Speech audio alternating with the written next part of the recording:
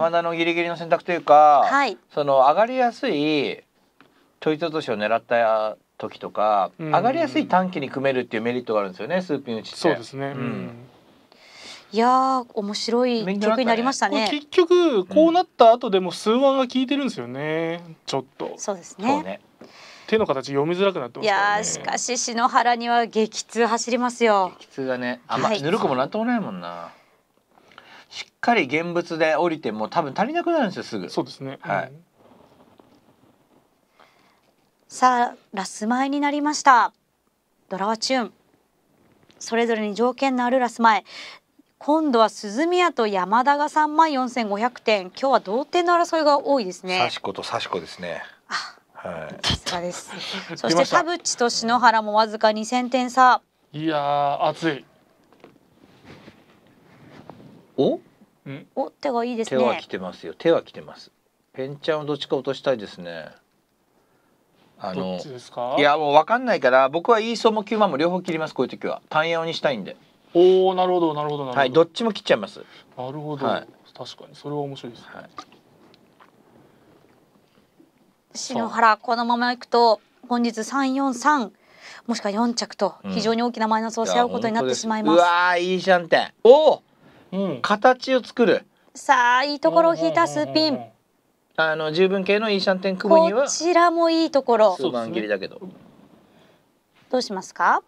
これはですねマンズの量が多いのでスーピン打ちたいです。はい。なぜならスーピン打ってもう一枚関係のないローワンとかをたまにチーしてチンスいくことがあるんで、ありますね。なるほど。数腕とか引くといいですよね。そうですね、うん。面前で引いた場合は、はい。まあピンクの一平行と。全然関係ない。でもね数万いくとねチーピン打ってそっか。あのピンフイッツイーペイコーちゃんがあるんで結構漫画にしちゃいそうなんだよね。そうですね。うん。自分でローワンとか引いた時にさっさと引いた時にちょっとあリャンペイコー。本当だ。これは人としてウーワンですよ。はい。あのねさあ高めを見ていく、リャンペイコーがあるのよ。リャンペイコうん。めったにないよ。めったにないうんそうですね。チーピンパーピン引くことができれば若干有利ですね。勝負あったとまでは言わないけど山田ちょっとピンチですこれ。さあトップ争いの鈴宮と山田。現状は鈴宮が一歩リード。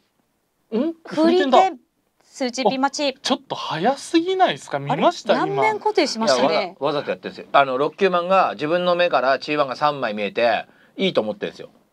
このスピードで選べます、はい。今 G1 打つの早すぎません？マジで。難しい選択ですよこれはいやでもえー、ご覧いただきましょう。スッチーピンが振り点でウッパーピンロッキュピンが来ると思えばこれの方がいいんですよ。そしてドラのチュンも惜しげもなく顔に並べました、惜しげもなく。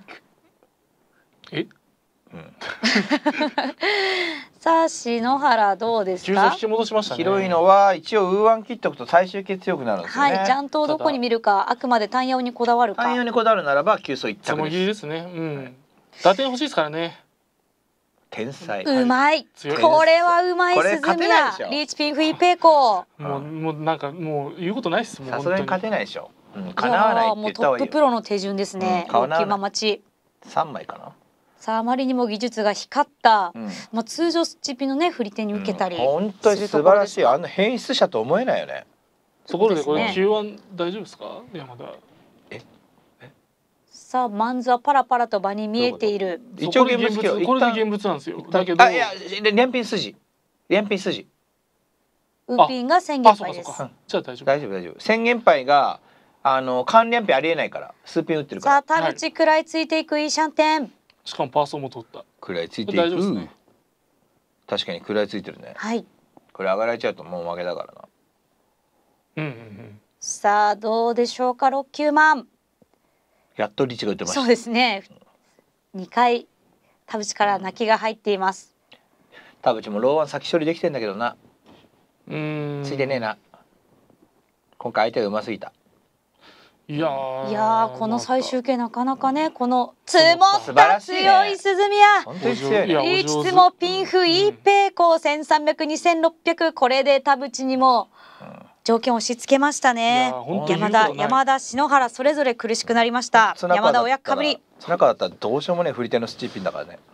なってそう。うーんリーチとか言ってそう。ね一旦テンパイに取るかリーチ打つかわかんないいけど。やこれは美しい1300、2600ですよ。